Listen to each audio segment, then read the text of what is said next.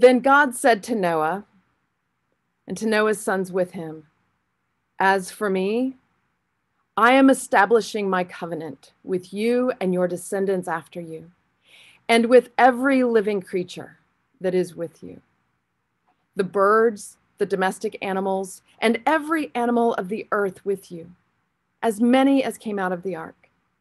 I establish my covenant with you that never again shall all flesh be cut off by the waters of a flood, and never again shall there be a flood to destroy the earth. God said, This is the sign of the covenant that I make between me and you and every living creature that is with you for all future generations. I have set my bow in the clouds, and it is a sign it shall be a sign of the covenant between me and the earth.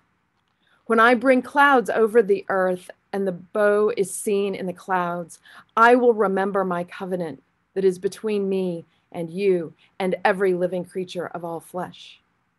And the waters shall never again become a flood to destroy all flesh. When the bow is in the clouds, I will see it and remember that the everlasting covenant between God and every living creature of all flesh that is on the earth.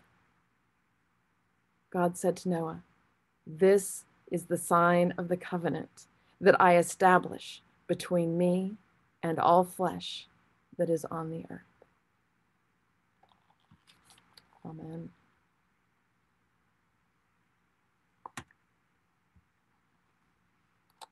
And our gospel reading from the Gospel of Mark. The image is uh, of the Jordan River Valley between Israel and Jordan. In those days, Jesus came from Nazareth of Galilee and was baptized by John in the Jordan. And just as he was coming up out of the water, he saw the heavens torn apart and the Spirit descending like a dove on him. And a voice came from heaven You are my son, the beloved. With you I am well pleased. And the Spirit immediately drove him out into the wilderness. He was in the wilderness for 40 days, tempted by Satan, and he was with the wild beasts, and the angels waited on him. Now, after John was arrested, Jesus came to Galilee, proclaiming the good news of God and saying, The time is fulfilled, and the kingdom of God has come near. Repent and believe in the good news. This is the word of God for the people of God. Thanks be to God.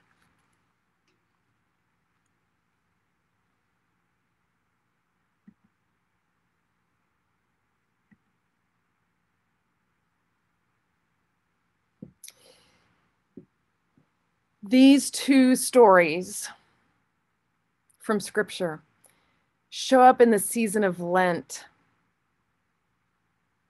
It rained for 40 days and 40 nights. Jesus was in the wilderness after his baptism for 40 days and 40 nights. And as we move past Ash Wednesday, we begin a season of 40 days and 40 nights on our way to Holy Week toward Jerusalem. There are numbers in scripture that are meaningful and significant, if for no other reason than the way they echo one another. You see, the 40 days and the 40 nights that it rained, Noah and his family were alone in the ark with a whole bunch of animals, waiting to see what might happen. And Jesus, after his baptism, is driven into the wilderness by the Spirit for 40 days and 40 nights, alone, ministered to by angels, to meditate on what might happen in both instances, there is a sense of wilderness, of aloneness, of water, of future, and of covenant promises.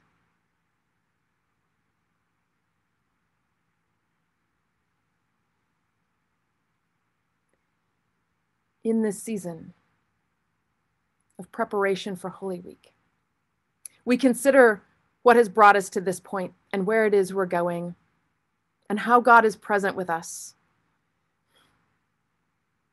in whatever boat we may feel on, however alone we might feel,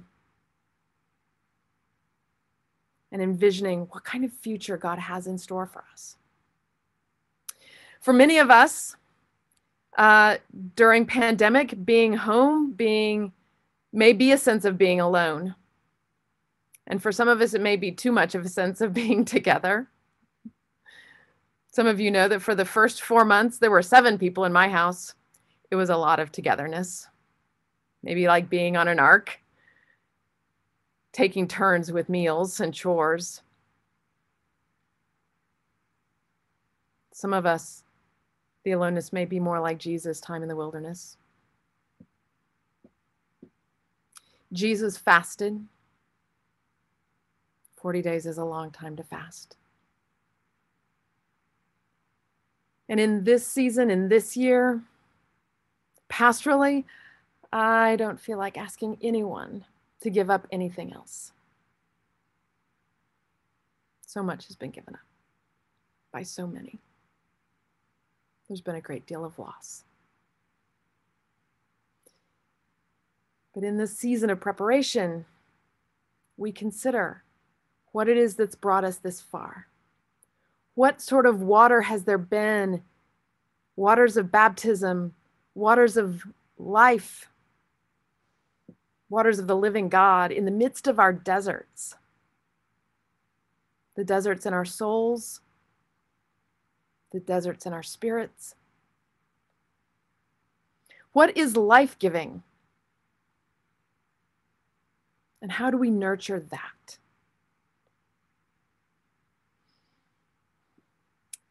Although it is very tempting, like Jesus was tempted, not to do the preparation, not to tend to the things that are hurting people around us. I don't know about you, but denial is really comforting. Denial is a defense mechanism. If I pretend it doesn't exist, then I don't have to pay attention to it.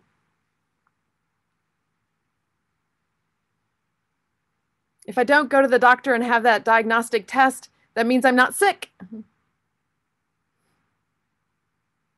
If we just don't talk about the things that hurt, they'll go away.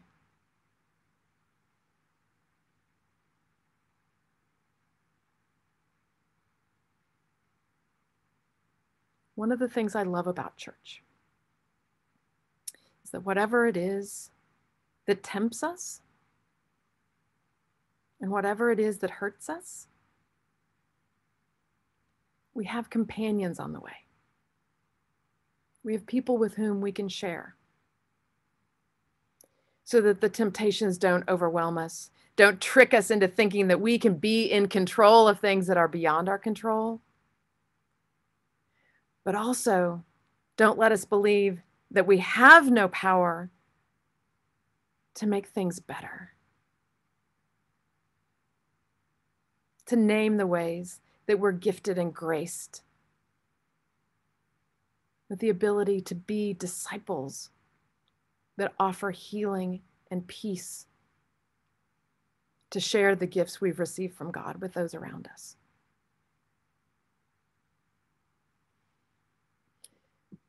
Noah and his family is building an ark and gathering animals. Midrash says that uh, Noah's wife Naamah was gathering seeds. And I know some of you are gardeners. And I know that some of you are taking deep joy in going through your gardening books right now, the seed catalogs, and figuring out what you might plant. Other folks laughed at them, though. It's a temptation to laugh at those who believe that something better is possible. But again, that's where community comes in. And as we struggle, as we limp along, as the fears overwhelm us sometimes, like waters or fires or freezing temperatures, there are ways that we can care for one another, the ways that we can reach out. And sometimes it's a prayer, and sometimes it's a meal, and sometimes it's an ear, and sometimes it's a shovel, and sometimes it's tilling soil or holding a hand or dropping off Lent in bags or showing up in a Zoom room.